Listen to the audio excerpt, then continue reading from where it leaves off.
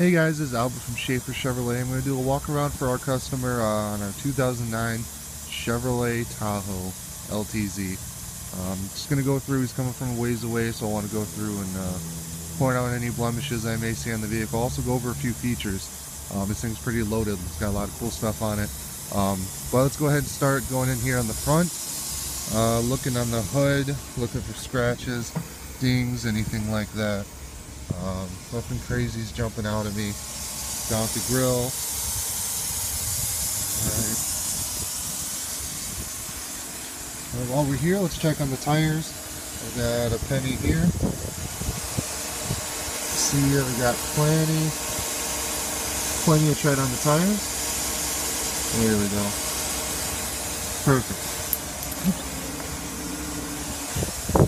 While we're here, let's go ahead and look at the windshield. I don't see any signs of uh, cracks, chips, anything on the windshield looks to be in good condition. I do see a scratch there on the body panel, it looks like.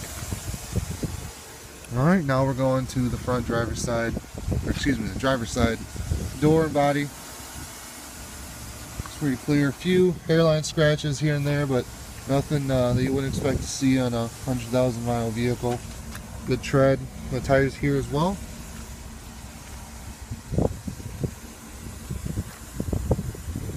Checking here in the back. No uh, condensation or anything like that in the tail light. That's usually pretty common.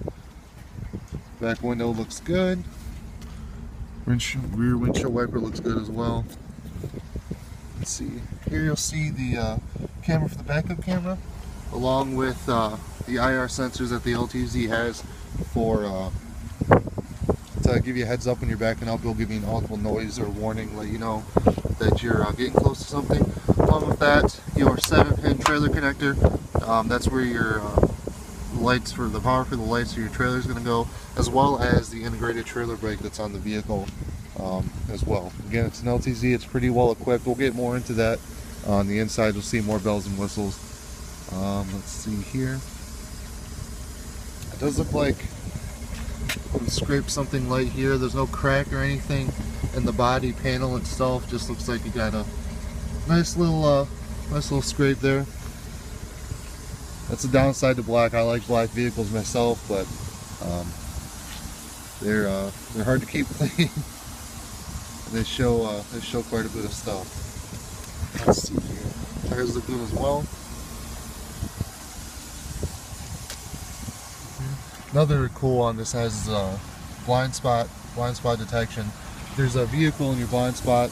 Um, it's going to show in your uh, in your mirror there that's going to light up a yellow color to give you a heads up that someone is there before you change lanes. Nice tires as well.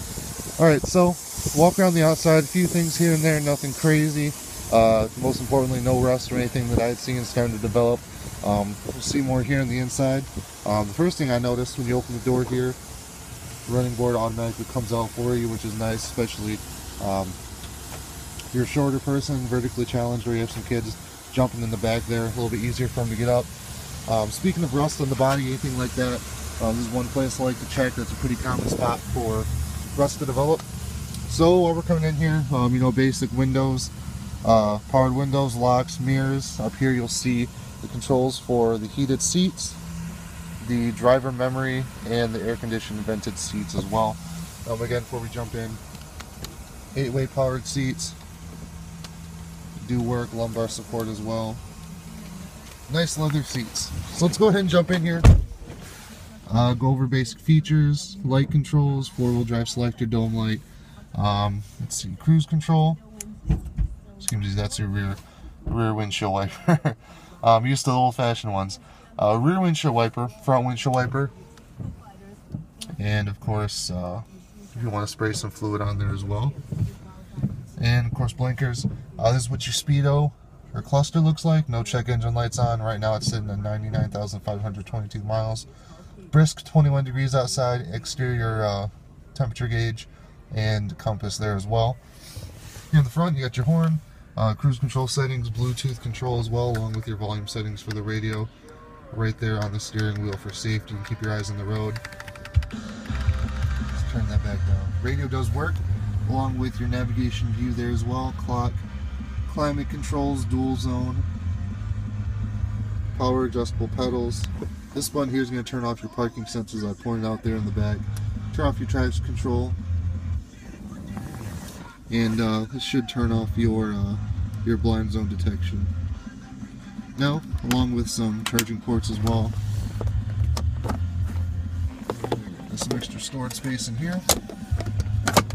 Um, condition wise, I'm not seeing any rips or tears in the leather, although the leather looks pretty well maintained. And here as well, you're going to see your uh, wireless headphones and remote for the DVD player, which are located here over the driver's shoulder. Along with that, obviously your sunroof here, nice and bright, um, which your controls for that are up here. Another cool feature this has is uh, these seat controls for the second row, so you can turn the, move the seats, get that in focus a little bit better, without having to jump out and move. So we'll go ahead and press uh, this button here. It's going to drop the seat, and then it's going to lift it up for you. So do uh, give you a little bit easier access to that third row, and so on. So basic rundown of uh, the interior here. Uh, looks like the passenger does have heated and air conditioned seats as well. Um, just for uh, just to be thorough, we're gonna run out and take a look here through the path. Uh, excuse me, the rear back seat, and uh, you can manually move these seats as well. But uh, just to take a look condition of the inside, looks like you do have heated seats in the second row as well, along with the rear climate control. So um, actually a tri-zone, tri-zone climate controlled vehicle. This is what your third row looks like. Room for three passengers. Um, these seats, the nice thing about these uh, seats back here, they are completely removable. And I'll show you quickly how to do that as well. But just a quick look at the inside.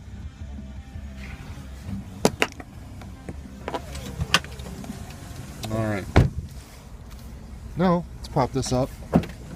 You have an automatic lift tailgate, which is a nice handful of groceries or handful of stuff.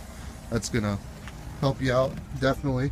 So, now that we're over the third row, a few different things to do. Uh, first thing you're gonna do is hit this lever, and then there is another lever right here. That's gonna lift it up, and then you just lift the whole seat in and out, and you have some extra storage space there in the back.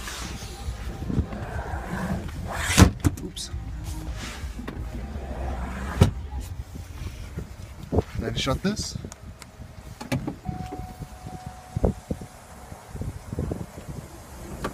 And you're all set. Again, this is Albert from Schaefer Chevrolet.